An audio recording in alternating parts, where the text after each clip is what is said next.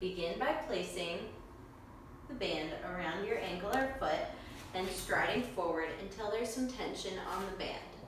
Take the opposite leg forward and press down through the heel of the back leg. Begin to bend the back leg's knee, squatting down slightly, and then standing up and through, squeezing the back leg's glute to full extension of the quad. Repeat that five to 10 times.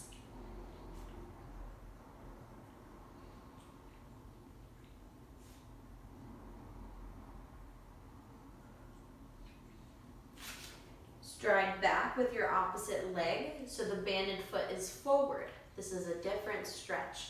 We're going to be straightening the leg and the band is going to come up the leg slightly and then you're going to bend the knee at the front of the leg with the front leg. Mm -hmm.